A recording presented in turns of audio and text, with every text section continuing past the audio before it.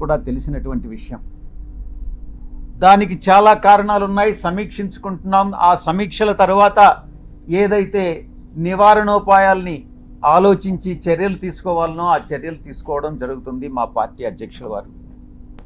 ఎన్నికల రిజల్ట్ వచ్చిన తర్వాత కొత్త ప్రభుత్వం పగ్గాలు చేపట్టిన తర్వాత ఏం జరుగుతుంది మొట్టమొదటిగా ఏం జరిగింది అన్నటువంటిది అర్థం చేసుకోవాలి. రాష్ట్ర వ్యాప్తంగా ఇచ్చాపురం నుంచి అలా కుప్పం వరకు కూడా నూట డెబ్భై ఐదు స్థానాల్లో పదకొండు స్థానాలు మేము సంపాదించుకున్నప్పటికీ ఓటమి పాలైనప్పటికీ ప్రజల తీర్పుకి కట్టుబడి మేము అధికారాన్ని దిగిపోయాం. వచ్చినటువంటి కొత్త ప్రభుత్వం ఆ యొక్క పార్టీ యొక్క గుండాలు కానీ రౌడీ ఎలిమెంట్స్ కానీ ఆ పార్టీ యొక్క కార్యకర్తలు కానీ ఎలా దౌర్జన్యాలు చేస్తూ ప్రతి ఒక్కరిని వైఎస్ఆర్ కాంగ్రెస్ పార్టీకి సపోర్ట్ చేసినటువంటి ప్రతి ఒక్కరిని ఇబ్బందులకు గురి చేస్తూ తీవ్రంగా కొడుతూ కుటుంబాలను నాశనం చేస్తూ రేపులు చేస్తూ ఈ రకమైనటువంటి అకృత్యాలకి చట్టం అనే దాన్ని పరిగణలోకి తీసుకోకుండా పోలీసులు ఏం చేస్తారులే? మాకు మాకు అధికార అధికార పార్టీ యొక్క సపోర్ట్ ఉంది అన్నటువంటి ఒకే ఒక కారణంతో ఆ కృత్యాలకన్నిటికీ పాల్పడడం జరిగింది.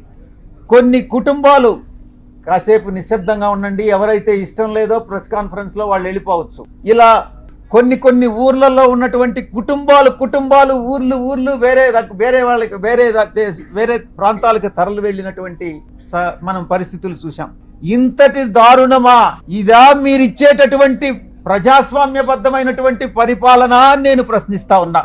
ఇప్పుడుండేటటువంటి అధికార పార్టీ ఎన్నికలకు ముందు ఎన్ని ఎన్ని రకాలైనటువంటి హామీలు ఇచ్చింది ఒక్కసారి ఆలోచించుకోండి. సూపర్ ఫోర్ అనని సూపర్ సిక్స్ అనని మేము చట్టబద్ధంగా పరిపాలిస్తామనని మేమేదో చట్ట వ్యతిరేకంగా పరిపాలించామనని ఏది ఏమైనప్పటికీ ప్రజల తీర్పును శిరసావహించాం. ప్రజలందరూ కూడా గమనిస్తా ఉన్నారు.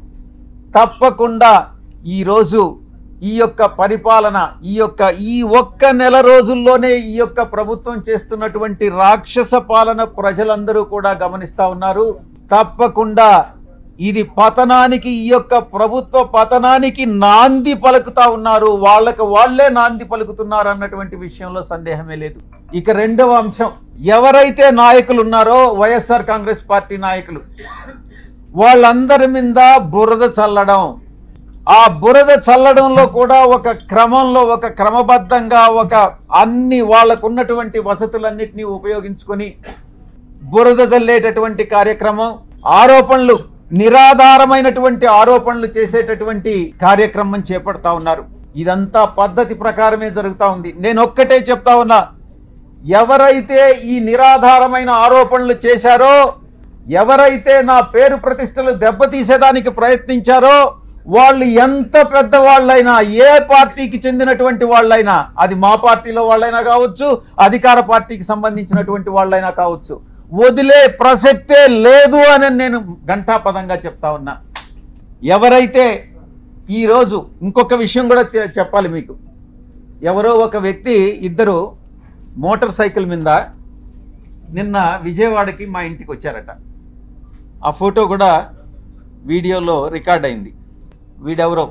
తెలుగుదేశం పార్టీకి చెందినటువంటి ఒక లేడీ ఒక పురుషుడు వీళ్ళు. నేను ఒక్కటే చెప్తా ఉన్నా వీడెవడో నాకు తెలీదు. వాడు ధైర్యంగా వచ్చి విజయసాయిరెడ్డి వాడు ఉండాడా ఇక్కడ? పారిపోయాడా అని అన్నాడంట. ఎక్కడికి పారిపోయాడు అని అన్నాడంట. వాడెవడో నాకు తెలియదు వీడు డెఫినెట్గా తెలుగుదేశం గుండా అయి ఉంటాడు. ఆ గుండా వెనుక ఒక అమ్మాయిని కూడా తీసుకొచ్చాడు.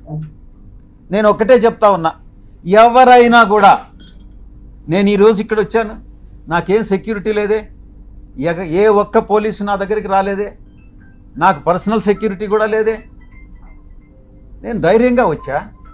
వీడెవడో టైం చెప్పి నువ్వు పొలాని దగ్గరికి రా అని చెప్తే ధైర్యంగా నేను ఒక్కడనే వెళ్తా.